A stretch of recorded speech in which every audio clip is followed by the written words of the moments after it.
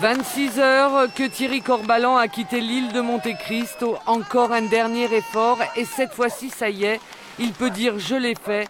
L'émotion le dispute alors au soulagement. Du plaisir, du plaisir et puis de voir tous ces gens là, c'est c'est que du bonheur. Puis je suis rassuré parce que c'était pas gagné quand même. hein.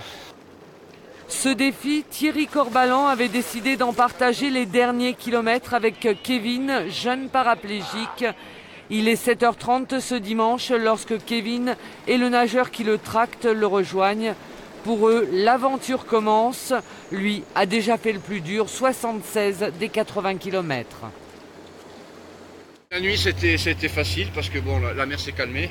Par contre au début on est parti, on avait pendant 15 km on a eu une, houle de, travers c'était assez perturbant. C'est pour ça que j'ai enlevé la monopale parce que je commençais à avoir une contracture avec la monopale parce que ben, les appuis n'étaient pas les mêmes avec, la houle. Ensemble, ils vont couvrir les 4 km qui les séparent de la plage de la Rinella. Moment intense de partage.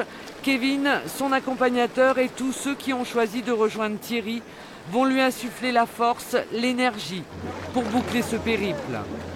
Ça lui fait une, vitesse euh, moyenne et il est à 3 nœuds, ce qui était, ce qui était énorme, énorme pour, euh, pour un nageur euh, comme cela. Et de le voir arriver dans une telle condition, on ne peut que saluer, dirais-je. À terre, on se fait l'écho de ses encouragements. Chacun sait qu'il ne lâchera plus maintenant. Thierry a vaincu les éléments.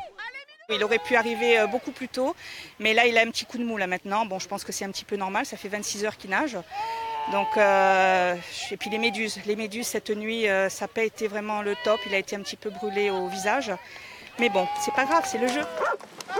La première étreinte est pour son épouse, la seconde sera pour Kevin, heureux et fier d'avoir partagé ce moment. J'ai essayé de l'aider du mieux que j'ai pu, de lui parler, parce que euh, comme je je pouvais pas nager avec eux, donc j'ai essayé de lui parler. Et comme il était fatigué, je lui ai essayé de lui donner de la force. Le plaisir de la mission accomplie, il restera les mots, les photos pour se souvenir de la saveur de l'instant. marqué 1,6.